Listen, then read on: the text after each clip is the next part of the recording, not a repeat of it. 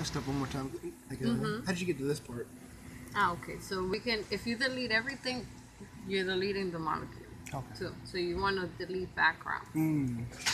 and then you can click on all or just one. We only have one, so it goes out.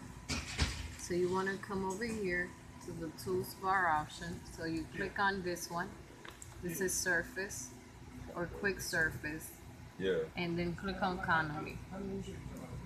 And then it creates this. So it just created a surface. This surface is meaningless. Meaningless. Yeah. When you see it green like this, it means nothing. You just created the surface. You haven't uh, done anything to Mm. it. So you have to right click. If you click on here, you're not going to do it. Yeah. You have to click on the surface. Right click on the surface. Now you want to color the surface by one of these. So now you're going to have information with the surface. So the one he wants you to do is the electrostatic potential. Mm. Okay, and this one is gonna give you information. and let's do it like this. So you can right click again and let's make it transparent so you can see the molecule too. Okay, Wow. then you can compute charges.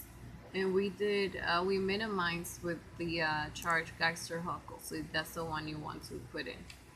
Okay, do you want to change formal charges before computing it? No. Okay, so from here, right, the most negative is purple. Then the positive, the most positive is red.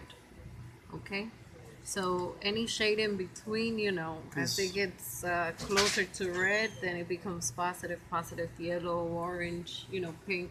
Oh, And from green, you know, as it gets closer to that side of uh, purple, blue, then of course it's negative.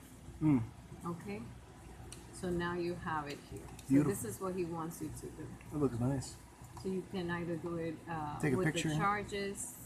So if you want to save the picture, you can copy the image or you can go to File, Save as Image. Let me share mine. So, okay. So we might create a folder within here. Mm-hmm. Well, this is my G file.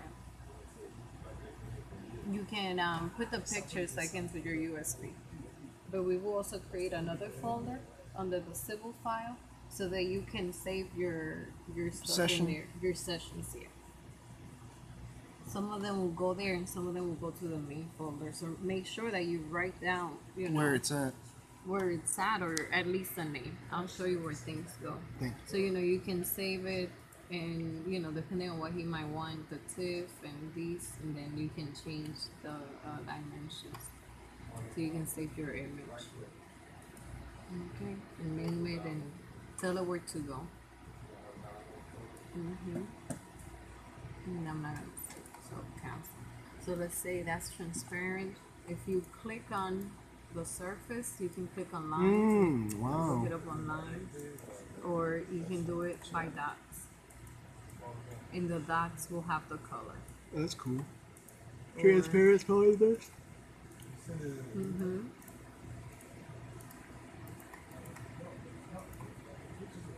Transparently.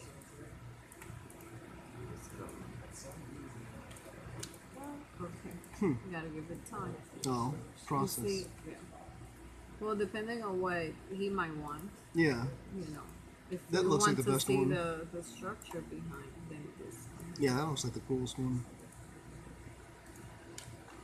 Okay. So save it as an image and save it as a session. No, we No. don't save it as a session. We don't. I don't save my sessions. Oh, okay. Yeah.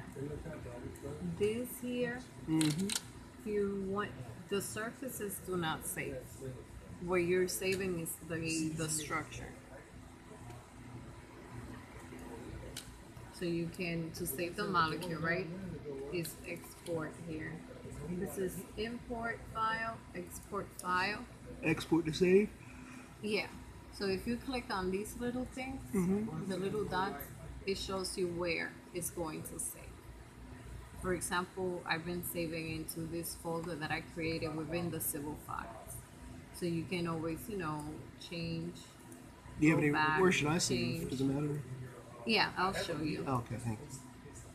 Okay, the main um, folder that things save to is Sybyl. There are things that you will be able to tell it where to save and things that are not going to where you may want to, but it's going to go directly here. Okay, so that's fine. But let's say if you want to save this uh, molecule, right? What we can do is create a folder within Sybyl.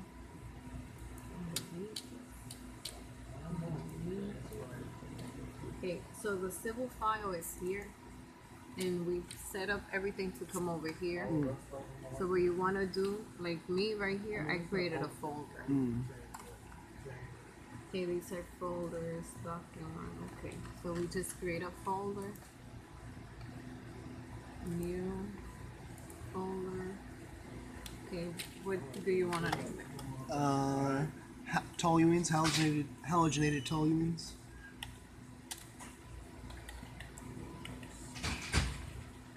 Right? Mhm. Tolu Beautiful. molecules, right? Mm-hmm. So now it's there, and when we go to the Sybyl and we export this, right? We want to, of course, you name it, and but you gotta name it as a rename first. Mm. Oh, rename it first Yeah, you have export. to rename it. hmm And now what you want to do, you go to home, desktop, file, okay, and then right here on the directory navigation, you can find your file. It's gonna be under, you know, right hmm. there. And now you just click on hmm. OK.